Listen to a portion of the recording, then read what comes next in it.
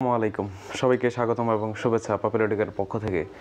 আজকের এই ভিডিওর মাধ্যমে আমরা নির্ণায়কের ধর্মটা খুব সুন্দরভাবে জানব। কারণ হচ্ছে, আমরা যদি নির্ণায়কের অঙ্কগুলো করতে চাই এবং নির্ণায়কটাকে ভালো করে বুঝতে চাই, সেক্ষেত্রে আমাদের নির্ণায়কের ধর্মগুলো জানা জরুরি। আমরা আগের ভিডিওতে একটা নির্ণায়কের ধর্ম নিয়ে আলোচনা করছিলাম। আজকের এই ভিডিওর মাধ্যমে বাকি যে নির্ণায়কের ধর্মগুলো আছে, সেগুলো নিয়ে কিন্তু আলোচনা হবে। এবং আপনাদের সকলে জানার স্বার্থে বলে রাখি, আমাদের পাপিলোডিকারের একটা অনলাইন প্রোগ্রাম চালু আছে, সেখানে আমরা diploma first semester second semester already আমাদের সেকেন্ড সেমিস্টার প্রোগ্রাম চলতেছে এবং ফার্স্ট সেমিস্টারের প্রোগ্রাম অলরেডি অনেকে জয়েন হচ্ছে। আপনারা চাইলে সেখানে জয়েন হতে পারেন এবং আমাদের ওয়েবসাইট থেকে আপনারা সুপার সাজেশনটা কালেক্ট করতে পারেন। তো আর কথা বাড়াবো না, সরাসরি আমরা চলে যাব আজকের আমাদের এই মেইন আলোচনায়। আজকে অলরেডি দেখতে পাচ্ছেন আমরা এখানে কিছু নির্ণয়কের ধর্মগুলো লিখে রাখছি। আমি প্রত্যেকটা ধর্ম লিখে রাখছি, কারণ যাতে আপনারা দেখতে পারবেন এবং এদের ব্যাখ্যা সহ আমি এই ভিডিওর মাধ্যমে আপনাদের সামনে উপস্থাপন করার চেষ্টা করব।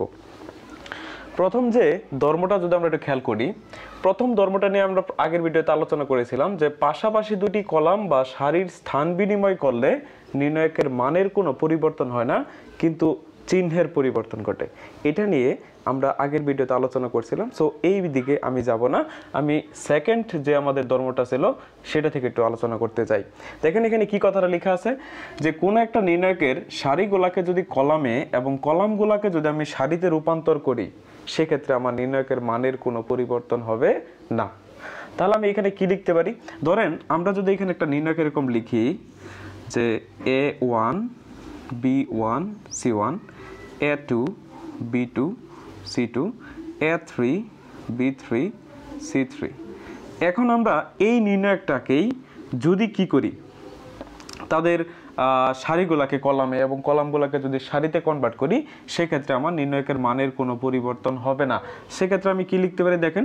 আমরা এইটা কিন্তু দেখেন আর ওয়ান সারি এটা হচ্ছে আর টু সারি এটা হচ্ছে আর থ্রি সারি এখন এই সারিগুলোকে আমি কলামে কনভার্ট করব। তাহলে আমি কলামে কনভার্ট করি, সেক্ষেত্রে আমি লিখতে পারি A one B one C one A two B two C two A three B three C three এই যে খেয়াল করেন, আমি এইখানে যে তাদের, আমার এখানে যে নির্ণয়গুলা ছিল, এই নির্ণয়কের যে শাড়িগুলো ছিল, সেই শাড়িগুলোকে আমরা কলামে কনভার্ট করলাম। এটা ছিল আমাদের এক নং সারি। তো এক নং সারির আমরা কি করছি? এক নং কলামে কনভার্ট করছি এবং এখানে দুই নং সারিকে আমরা দুই নং কলামে কনভার্ট করছি। এখানে তিন নং সারিটাকে আমরা তিন নং কলামে কনভার্ট করলাম। এই যে দেখেন, আমরা সারিগুলাকে যখন কলামে কনভার্ট করলাম সেই ক্ষেত্রে তাদের মানের কোনো পরিবর্তন হবে না। অর্থাৎ আপনি যদি এখান থেকে বিস্তার করেন, বিস্তার করার পরে যে মানটা আসবে, এখান থেকে বিস্তার করলেও আপনার সেম একই মান চলে আসবে। তাহলে আমরা প্রথমে একটা ধর্ম জানলাম যে নির্ণায়কের মান, নির্ণায়কের সারি বা কলামগুলোকে যদি রূপান্তর করা হয়, ঠিক আছে? সেই ক্ষেত্রে তাদের মানের কোনো পরিবর্তন হবে না। এই যে সারিগুলাকে কলামে বা কলামগুলাকে সারিতে রূপান্তর করলে সেক্ষেত্রে মানের কোনো পরিবর্তন হবে না। আচ্ছা এরপরে তিন নাম্বার। দুটি কলামের দুটি কলাম বা সারি যদি একই হয় কোনো একটা নির্ণায়কের দুটি কলাম অথবা যদি তাদের দুইটা সারি একই হয়ে যায়, সেক্ষেত্রে তাদের মানটা শূন্য হয়ে যাবে। একটা নির্ণায়কের একটা নির্ণায়কের দুইটা সারি বা দুইটা কলাম যদি একই হয়ে যায়, আমি একটু এক্সাম্পল দিতে চাই। যেমন ধরেন একটা নির্ণায়ক লিখলাম one one one two two two এখানে লিখলাম ফোর থ্রি ফাইভ এই যে নির্ণায়কটা খেয়াল করেন, এইখানে তাদের সেক্ষেত্রে আমি এখানেও লিখতে পারি ওয়ান ওয়ান ওয়ান তাহলে দেখেন, এই যে আর ওয়ান শাড়িটা এবং এই যে আর টু শাড়িটা যে আছে, এই দুইটা শাড়ি কিন্তু এখানে একই রকম। তাহলে আর ওয়ান শাড়ি এবং আর টু শাড়ি, দুইটা শাড়ি কি আছে এখানে? একই হয়ে গেছে কা তা দুইটা শাড়ি অথবা যদি আপনার দুইটা কলাম একই হয়ে যায়, আপনি একই বানাইতে পারেন, সেই ক্ষেত্রে তাদের মানটা কি হয়ে যাবে? শূন্য হয়ে যাবে। আরেকটা কথা বলি। আরেকটা কথা হচ্ছে, ধরেন এখানে এরকম আছে, টু টু টু, এরকম আছে। ধরেন এরকম আছে। তো এই যে দেখেন, এদের গুণক গুণকগুলো, অর্থাৎ এরকম যদি কোনো সমানুপাতিক থাকে আর কি তারা ঠিক আছে? সেই ক্ষেত্রে আপনি যদি এখান থেকে দুই কমন নেন, এইখান থেকে দুই কমন নেন, সেই ক্ষেত্রে দেখেন, আমি যদি এখান থেকে দুই কমন নেই, তাহলে কিন্তু এই প্রথম যে শাড়িটা লিখছিলাম, সেটা ওয়ান ওয়ান হয়ে যাবে। দ্বিতীয় শাড়িটাও কিন্তু ওয়ান ওয়ান হয়ে যাবে, আর চতুর্থ শাড়িটা ঠিক এরকমই থাকবে। তখন দেখেন, তাদের দুইটা শাড়ি বা দুইটা কলাম কিন্তু কি হয়ে গেছে? একই হয়ে গেছে।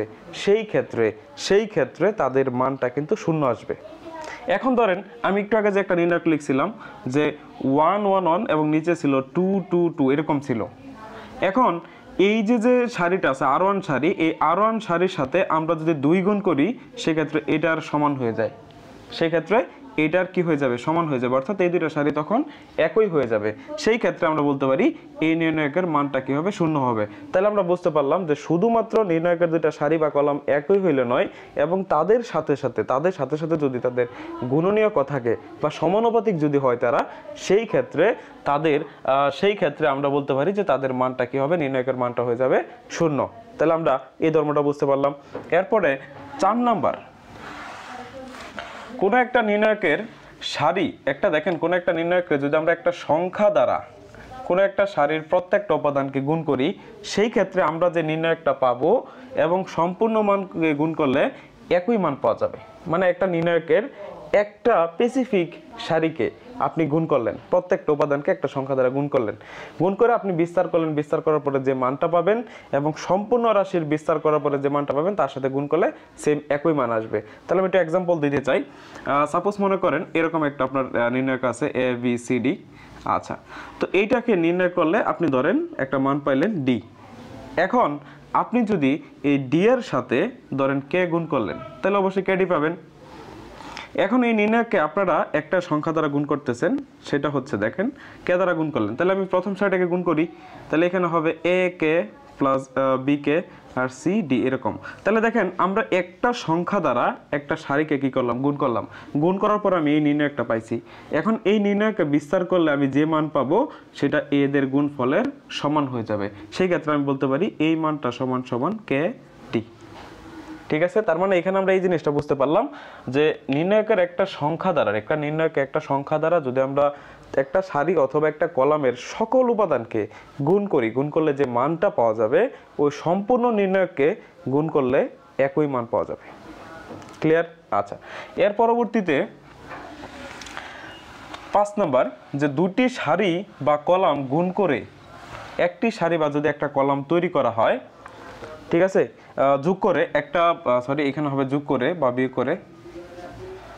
দুইটা সারি অথবা দুইটা কলাম আপনি যদি কি করেন, যোগ করে বা বিয়োগ করে একটা কলাম বা একটা সারি তৈরি করেন, সেই ক্ষেত্রে নির্ণায়কের মানের কোনো পরিবর্তন হবে না। আমি একটু এক্সাম্পল স্বরূপ লিখতে চাই। ধরেন, এরকম ছিল। A one B one C one ধরেন এরকম একটা নির্ণায়ক আছে A two B two C two A three B three C three তো এরকম একটা নির্ণায়ক আপনার এখানে দেওয়া আছে। এখন কি করলেন আপনি? এটা দেখেন সি ওয়ান কলাম, এটা হচ্ছে সি টু কলাম, এটা হচ্ছে সি থ্রি কলাম। এখন আপনি কি করবেন? এখন আপনি এই সি ওয়ান এবং সি টু এই দুইটা যোগ করে প্রথম কলামটা তৈরি করবেন। মানে প্রথম কলামটা তৈরি করলেন। তা সেক্ষেত্রে কী হবে? A one plus B one A two plus B two A three plus B three এবং বাকি উপাদানগুলো B one B two B three C one C two C three এই যে যে আমরা এখানে যে নির্ণয়কটা পাইলাম সেম একই হবে। অর্থাৎ এইটার যে মান পাওয়া যাবে বিস্তার করলে এইটারও আপনার সেম মানই পাওয়া যাবে। অর্থাৎ আপনি যদি একটা নির্ণায়কের ক্ষেত্রে তাদের উপাদানগুলো যোগ বিয়োগ করে মানে ধরেন একটা শাড়ির সাথে অন্য একটা শাড়ি যোগ করলেন অথবা একটা শাড়ির নির্ণায়কের ভিতরে আপনি একটা শাড়ি যোগ করলেন বিয়োগ করলেন এই ক্ষেত্রে সম্পূর্ণ নির্ণায়কের মানের কোনো পরিবর্তন হবে না। আপনি নির্ণায়কের ভিতরে যোগ বিয়োগ যাই কিছু করেন সেই ক্ষেত্রে মানে একটা শাড়ির সাথে আরেকটা শাড়ির অথবা একটা কলমের সাথে অন্য একটা কলমের আহ, যোগ বিয়োগ করলেন যোগ বিয়োগ করে একটা শাড়ি তৈরি করলেন অথবা একটা কলম তৈরি করলেন সেই ক্ষেত্রে নির্ণায়কের মানের কোনো পরিবর্তন হবে না।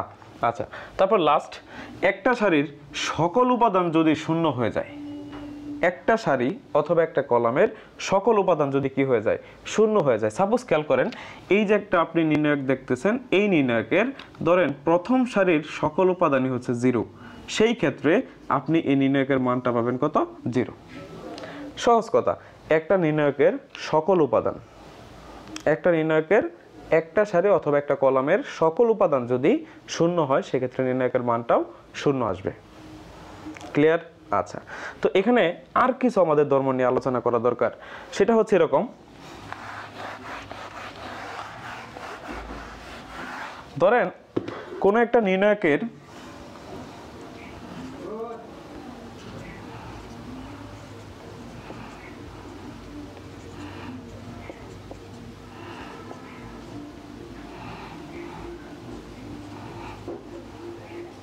ধরেন আপনার এইরকম একটা নির্ণায়ক আছে এবং এই নির্ণায়কের আপনি যদি প্রথম কলামটা খেয়াল করেন, প্রথম কলামটা কিন্তু দেখেন দুইটা পদের সমষ্টি, দুইটা পদের সমন্বয়ে প্রথম কলামটা গঠিত হয়েছে।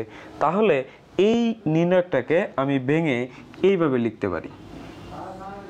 A one, B one, C one, A two, A three, B one, B two, B three C one C two C three plus two three four B one B two B three C one C two C three এই যেভাবে লিখতে পারি।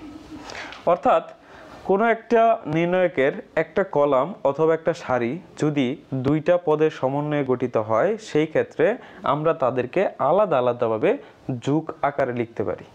আমরা তাদেরকে আলাদা আলাদাভাবে যুগ আকারে লিখতে পারি, এতে আমাদের নির্ণয়কের মানের কোনো পরিবর্তন হবে না। সেক্ষেত্রে আমাদের নির্ণয়কের মানের কোনো পরিবর্তন হবে না।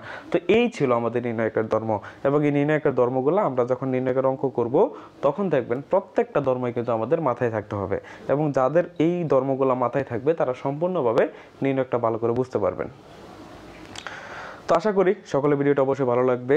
ভালো লাগলে অবশ্যই লাইক কমেন্ট করবেন আর শেয়ার করে দেবেন যাতে আপনার বন্ধুরাও এই বিষয়গুলো জানতে পারে। তো সবাইকে ধন্যবাদ জানাই আজকের এই ভিডিওটা। আমরা এখানে ক্লোজ